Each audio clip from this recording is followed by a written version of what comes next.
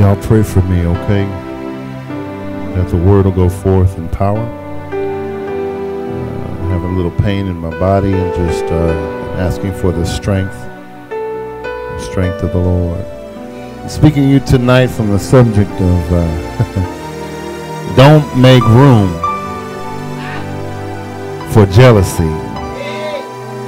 Don't make room for just sang that song don't let hatred be among you. Don't let jealousy be among you. And as you can see from my little collage up here, you can see some of the results of what jealousy can occur. You see somebody who's got doesn't have a whole lot of trust in his life. You got the binoculars up there, spying and scoping, and uh, you got some some uh, some some folks over here in a cat fight because. Uh, uh got some had some disagreements, and you got somebody who's caught up in uh, in the lust of the eyes and the lust of the flesh, and all evidences of what can occur when jealousy.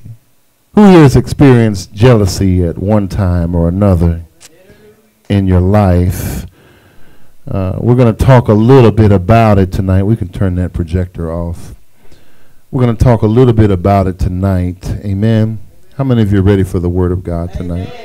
Uh, I, I have been uh, kind of laboring over the Word and uh, asking the Lord to really speak to us tonight. So, as we touch on this subject tonight, don't leave room for jealousy. Amen. Don't leave room for jealousy. Romans chapter 13 verses 13 and 14, and it reads, Let us walk properly as in the daytime, not in orgies and drunkenness, not in sexual immorality and sensuality, not in quarreling and jealousy. But put on the Lord Jesus Christ and make no provision for the flesh to gratify its desires. Father God, in the name of Jesus, I'm just asking for your presence. I'm asking for the Holy Ghost. Just pray with me, saints, that the word of God will go forth in power and that our hearts and minds will be prepared to hear what you have to say and that our hearts will be turned toward the seriousness of what it means to serve you, God, and that we'll not take it for granted and not take things lightly. God, as the word has weighed heavily on my heart, I ask you to examine my heart, and Lord God, uh, let um, me not be found wanting, O God. I come before your throne humbly right now, asking for forgiveness for anything that is not like you and me, and help me to be one that preaches the word in power, but also ones that will not be a hypocrite, but practice what I preach as well in Jesus' name. The saints of God said, Amen. amen. I'm sure you've heard of the popular slogan, There's always room for jello. but tonight I want to leave you with a different message. It says, Don't leave room for jealousy. Don't leave room for jealousy. Because if we're honest with ourselves, we all get envious and jealous at times we see something somebody's got or something that we like or something that we want. We see somebody with the somebody that we want. Uh huh. Somebody's got the body or the clothes that we want. And before you know it, we hating. Uh, we running interference. We throwing shade. We blocking. Uh huh. And if you got it real bad, then you want to start to read somebody, huh? You, you're ready to fight and pull some hair and things like that. You want to go for what you know because they done crossed the line and laid their hands on what's mine. Uh, can I just give you a little wisdom tonight? This is for free. Mm. I need you to know tonight, baby, if you got to fight somebody to try to keep somebody with you, they ain't yours to begin with. Say it again, Say it again. You'll catch that on the way home. All right. But now you want to sleep with this one and sleep with that one, trying to get the attention. And pretty soon, it ain't long before you walk in somebody, and every room you in, you done been with everybody in the room. Jealousy, I'm talking to you tonight. Don't make room for jealousy.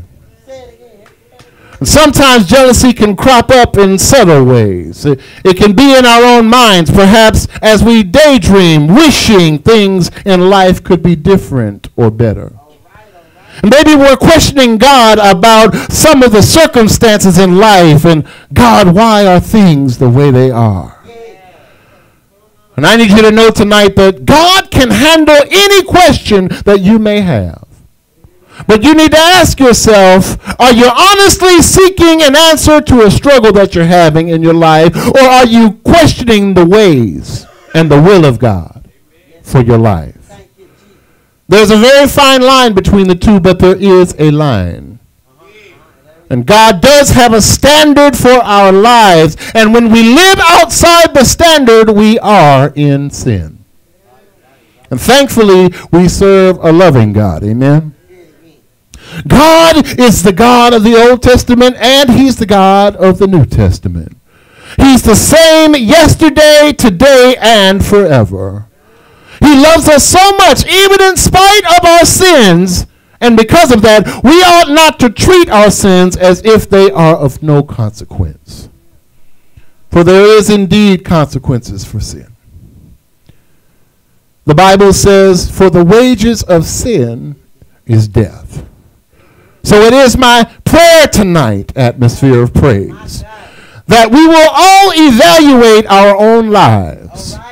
And as we are convicted by the Holy Spirit about the sin of jealousy, yes, that's what I said. Jealousy, it is a sin. It is indeed a sin. Uh-huh. See, jealousy falls right in line with some of those other terms in the Bible like covetousness and envy, which is described as one of the deadliest of sins. It is my prayer tonight that as we have been focusing all this month on generosity, that we will understand that we cannot begin to operate authentically in generosity unless we honestly deal with generosity's most formidable enemies jealousy and envy. That tonight, as we look at ourselves, and by the Spirit of God and the Word, we will deal with sin the way it should be dealt with. By asking God to forgive us and let our minds be changed and ever transformed and decide to live better, better lives according to the will of God. God wants you and me to have complete freedom over sin. God wants to bring us to the freedom that only comes through the blood of Jesus Christ. Somebody bless his name. There are numerous examples in the scriptures with regard to jealousy. But even when you merely look a, a little closer at the word jealousy, there's something vital that stands out. The word jealousy itself contains the word lousy. And one thing is for sure the feeling of jealousy also makes you feel lousy. The word jealousy in the Webster's dictionary is defined as zealous vigilance. But somehow that definition doesn't seem to do the word jealousy any justice. Jealousy is a very powerful force of emotion. Mm-hmm. The Bible says in Proverbs 27 and 4 anger is cruel, uh-huh. fury is overwhelming. But who can stand before jealousy? Uh-huh. Now we're talking. See, that seems to give a little more meaning to the word jealousy, doesn't it? Uh, and I ask you, saints, tonight, whatever happened to the days when everybody was just happy for everybody else? Uh-huh. Uh, what does anybody remember the days when nobody ever wanted something that someone else had? Uh, I don't think so, baby. Those days never existed. And truth be told, there was probably never been a time when somebody didn't want somebody else's something or their somebody. See, jealousy is probably one of the world's oldest emotions. It's been around since the beginning of time. Uh, uh, anybody remember the story of Cain and Abel? Uh huh. That's a prime example of jealousy run amok. And as we are evaluating ourselves tonight, we should understand, if we can, what exactly causes jealousy, why it starts, and how we can overcome it. And I'm telling you tonight, don't make room for jealousy. We're not going to be long. I'm going to move fast. But I want you to hear this tonight. Uh, because one of the primary causes of jealousy is unmet expectations. That's one. Unmet. Somebody say it. Unmet, unmet. expectations. Many times we place unrealistic expectation, expectations on ourselves and the people around us. And oftentimes we feel as though things should come easier or perhaps faster to us. We say, I should be here. Or, I, I should be this far along in life. I should be hanging out with these kinds of people. I should be making this amount of money and driving this kind of car. And just when things don't happen when we think they should, or as fast as they think they should, then, then here they come. Hmm. They got on what you want to be wearing. They driving what you want to be driving. And they booed up with who you want to be booed up with. Mm-hmm. Uh-huh.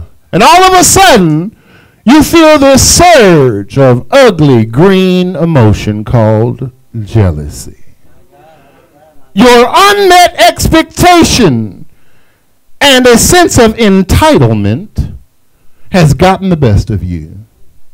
And for some reason, many of us have this ingrained attitude that we're grand. Hmm. That, that is, we think we're entitled to things and things being a certain way. Who here remembers leaving your parents' house for the first time? And you thought that your standard of living should at least be equivalent to what their standard of living was. Uh-huh. But you didn't consider how many years and years that your parents worked to get where they were. Uh-huh. And maybe that's not your experience tonight. But let me talk about us for a minute. Can I do that? Mm-hmm. Uh, about those of us who came up or who are still on a fixed income. Mm-hmm incomes and those of us who don't see a lot of money passing through our hands, or at least not as often as we'd like to.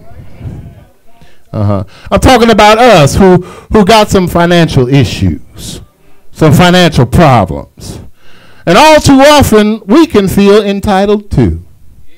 A lot of times we feel entitled to buy things we really ain't got no money for. Mm.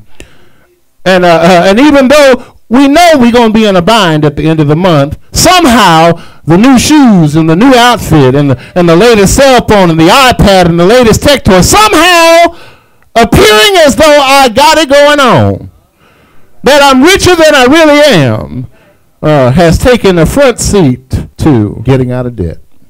Mm. Somehow it's become more important than taking care of my bills. Mm-hmm. Because we have this sense of entitlement. The question I'm asking you tonight have we become so insecure about our individuality and our identity that we cloak ourselves in things and surround ourselves with entourage, so much so that we don't even know who we are anymore, let alone appreciate who God has made us to be? See, it's real easy to look at other people and wish you had what they have. But for some, it doesn't stop there. You start berating yourself, telling yourself, well, I must be a loser for not having what they have. And eventually you start to believe your own hype, start believing the negative junk that you tell yourself, and worse off, you start living it out. Hmm. The next thing you know, you develop insecurities in your relationships and in your perceptions of everything. I'm telling you tonight, don't make room. Don't make room for jealousy. So you ask, Pastor, what, what can I do? What can I do about jealousy in my life? What can I do? After hearing all this stuff that, that, that can cause feelings of jealousy, you may feel like there's just no hope. You may think I'll always come up short on something, but I need you to know tonight that does not have to be the case. Amen. The good news is that there are some things that you can do. That you can do to stop the jealousy ball from rolling over you. And if you allow me, I'll share them with you. One of the first things that you can do to eliminate jealousy in your life is stop comparing yourself to other people. The Bible says in Psalms 139 and 14 that you have been fearfully and wonderfully made by God. Uh-huh. You were created as a very unique and special person. God had a plan for you long before you even took your first breath. Hallelujah. I need you to relish on that thought for a little while. God was thinking about you before you were even conceived. I need you to hold on to that thought for a little while. And tonight, and from this day forward, I need you to love the fact that you are special to God. And what God has in mind for you isn't the same as what He has in mind for somebody else. I need you to understand tonight that you don't have to have bad feelings thinking that you don't have all the qualities or all the features or all the money or anything else that you think you need that other people got. Your journey is just that. It's yours. Your journey is just that. It's your journey. Your journey with God. Number two, I'm not told you I won't be alone. If you're going to overcome jealousy in your life, you're going to have to stop worrying about you all the time. Amen. You're going to have to start finding ways to be a blessing to somebody else. Amen. When you change your focus from yourself, all of a sudden your self image starts to improve.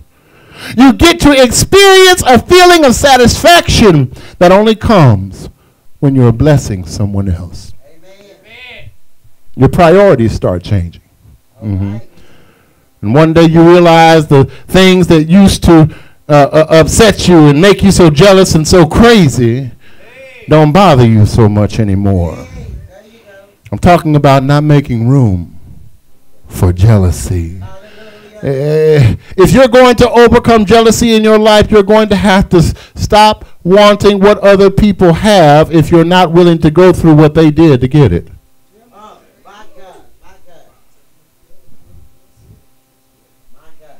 When you see a person who's physically fit and positively fierce and fabulous and sickening, as they say, did I get it right?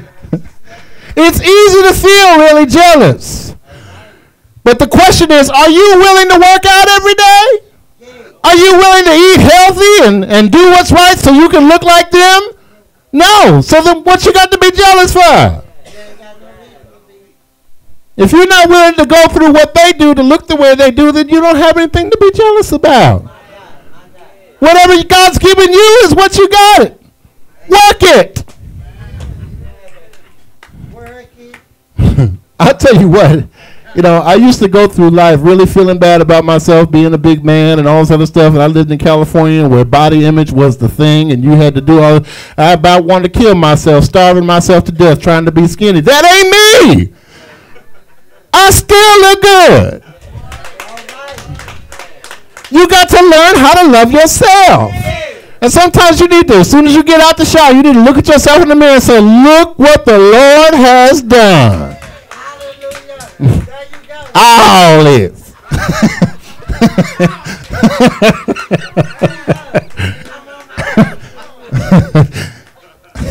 I do it. I say, Thank you, Jesus.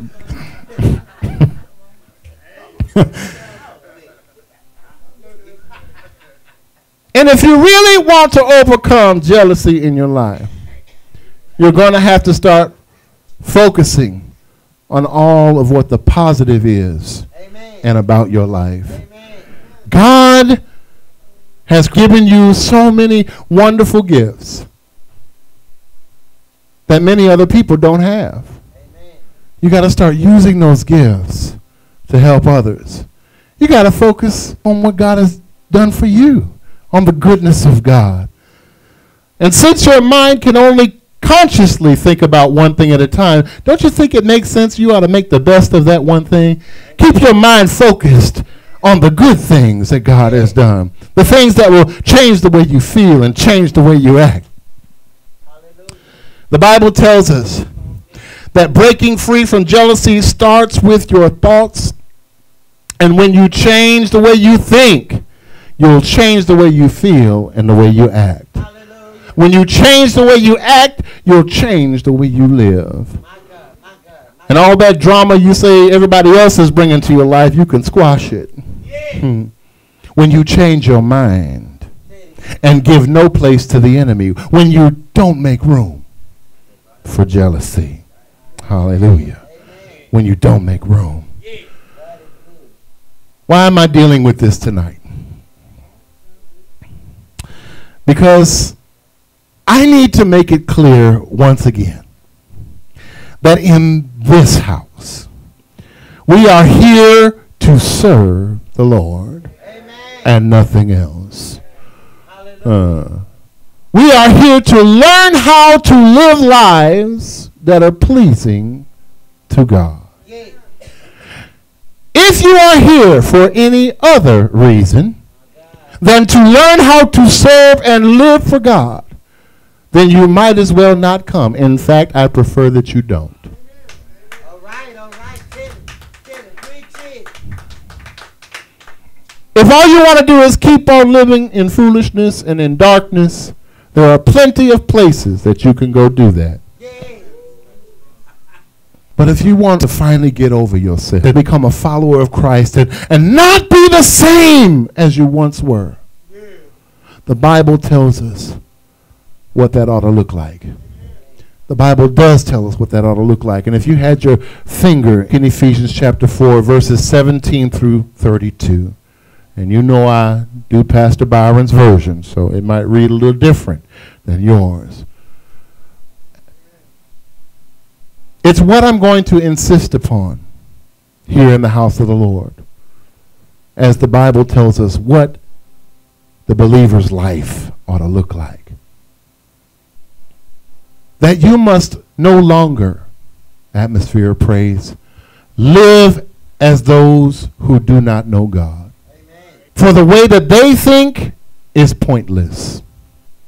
Their understanding is darkened, and they are separated from the life of God because of the ignorance that is in them. Because their hearts are hardened toward God. They have lost all sensitivity and have given themselves over to everything that satisfies only the flesh, indulging in every kind of impurity. And they never stop wanting more.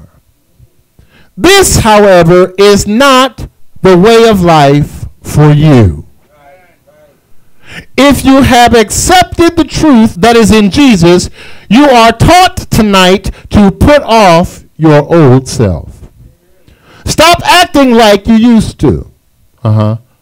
That way is corrupt by its deceitful desires. You have been made new in the attitude of your minds.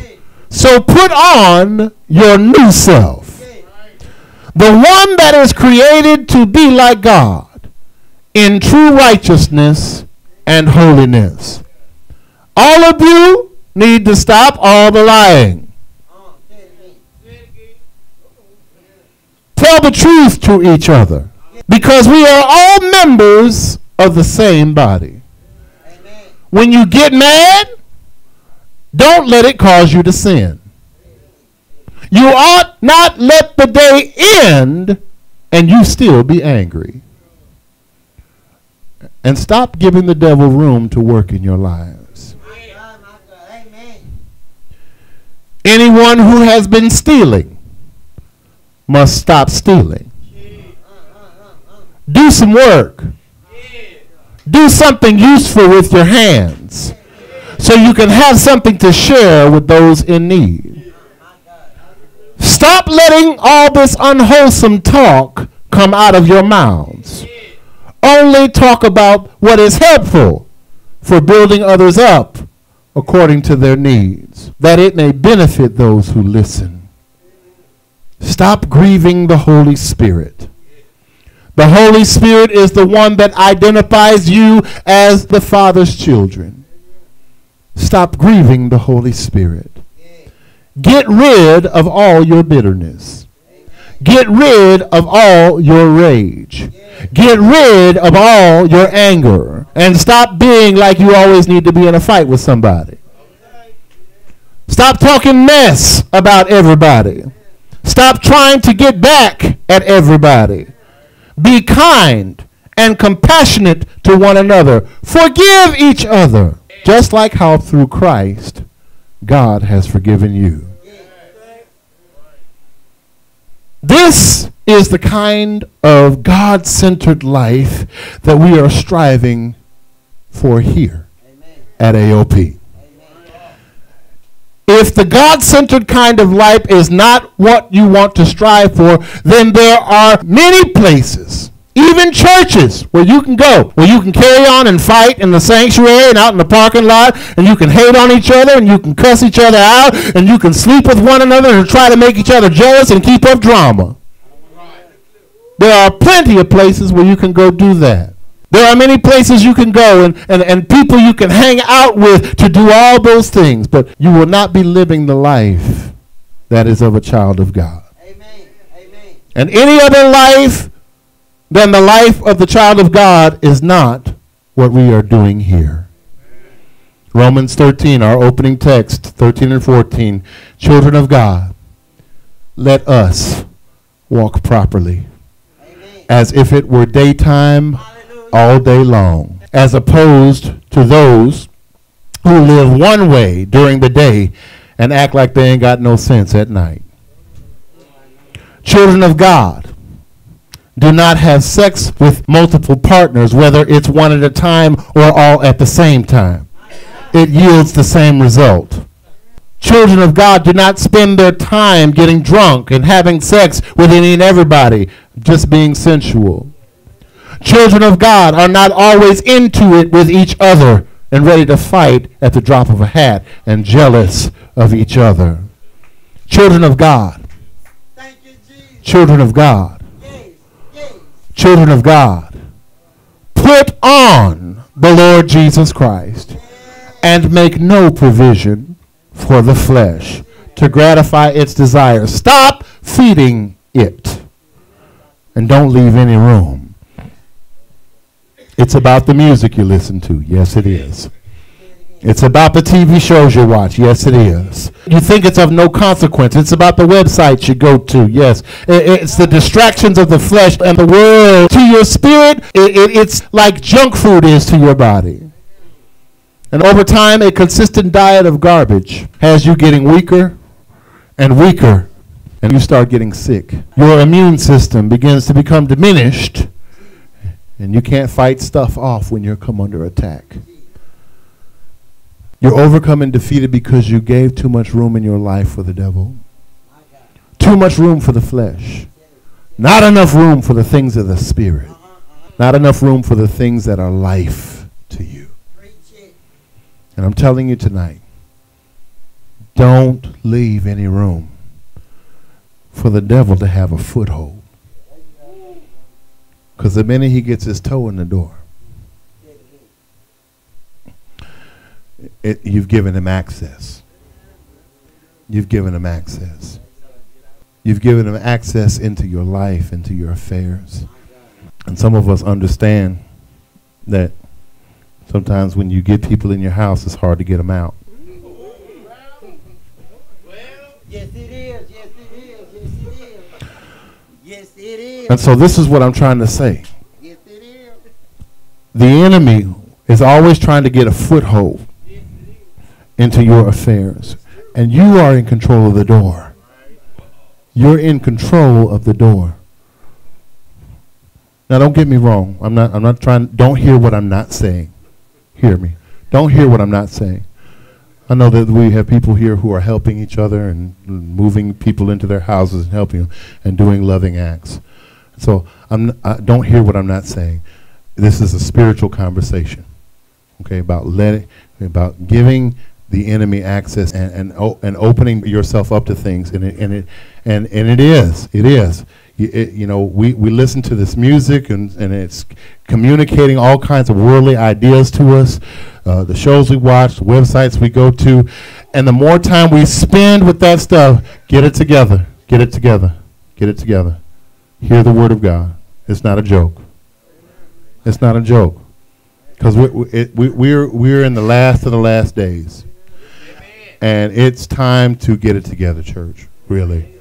Really. We've been, we've been shut out for a long time. And now, the, the, what the Bible says is that the last shall be first.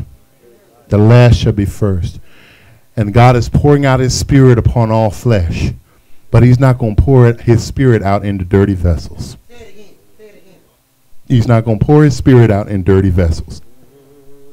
And so I wanted to, I, I, am preaching this message tonight. What? Because in, in, in light of all the thing, information that has been flying around across the church house and people coming down here and wanting to fight and all kind of stuff, this is not what church is about. And we have a responsibility to stand up and live out the truth and the reality of relationship with Christ and not get caught up. Not get caught up in the mess, not get caught up in foolishness. And, and you're not going to know how to do that unless you really know what the word says. You, I bet you some of you didn't even know that was in there. Somewhere down in your spirit, you knew right from wrong, but you didn't know it was in black and white. That it speaks directly to our situation as the church. And so we need to walk in love toward one another. We need to learn how to forgive one another. Stop looking, stop fault finding. Uh-huh. Stop trying to point out everybody's little stuff. Find the good and build them up. Build them up. And the more that we are built up in the faith, yeah, all that other stuff is just going to drop off. It's going to drop off. What it said is make no provision. What's a provision? When you go out, when you go out into the wilderness, you take provisions with you. It's what you eat. It's what you supply yourself with. Stop supplying the flesh, and it will die. Feed your spirit, and it will live. Feed your spirit, and it will live. That's the word of God tonight. God bless you.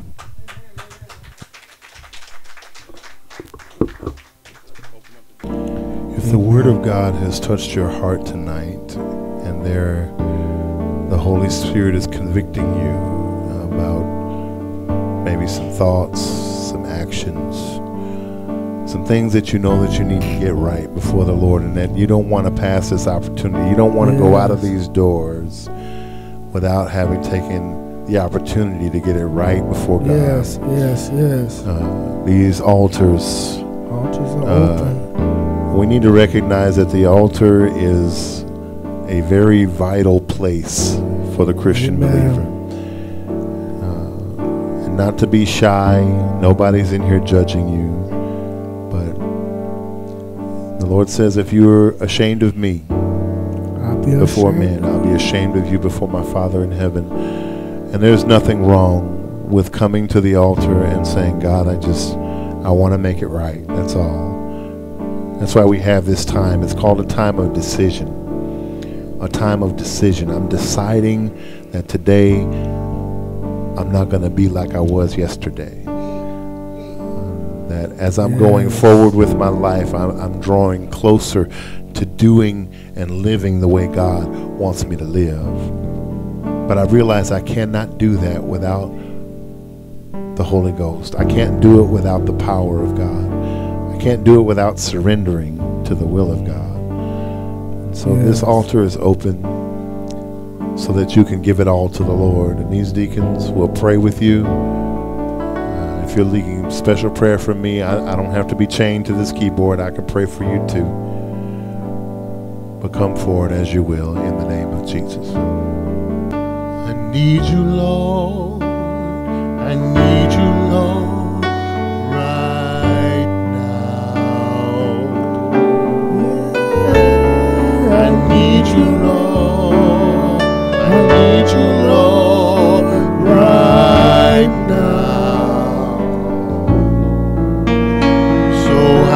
Lift my hands and I bow my knees as I worship at your throne. I need you, Lord. I need you, Lord,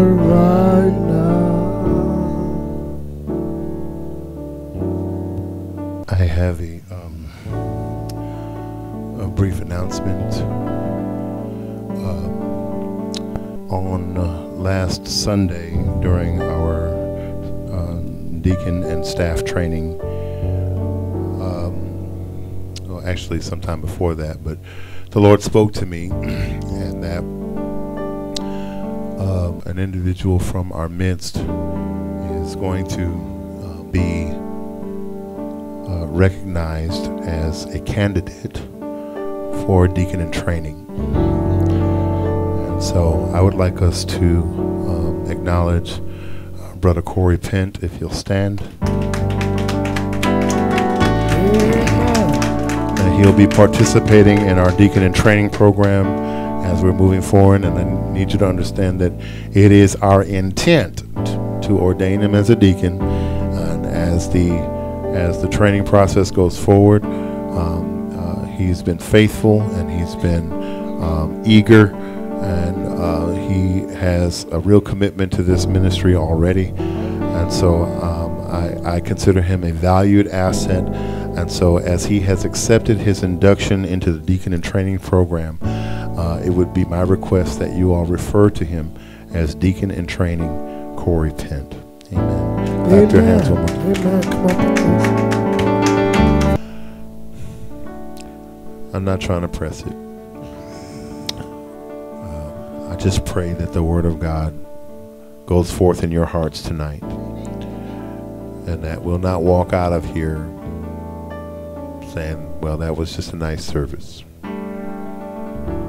And uh, I pray that the word of God will inspire you uh, to become uh, better livers of the gospel. And whatever you leave to do tonight, take the Lord God with you. And let the world know that He's a part of your life.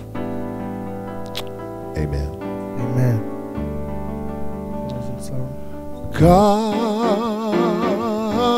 be with you. God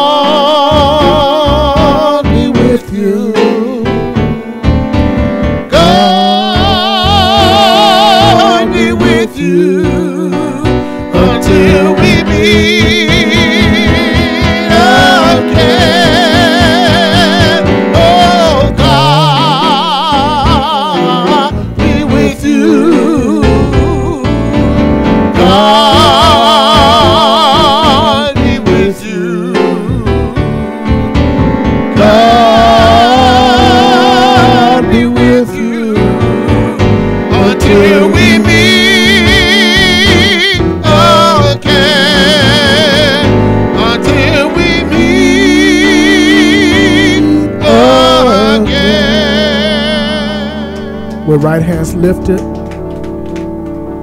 Father God, we thank you for this time that you've allowed us to come to your house. God, we thank you for the word that will fall forth on tonight, God. We thank you for the ones that came forth for prayer tonight, God. We pray that those prayers have been answered, God.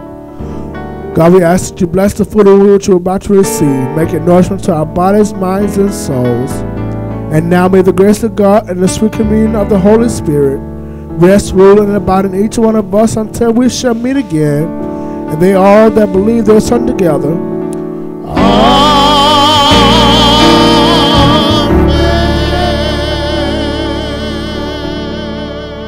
Amen. You are dismissed into our time of fellowship.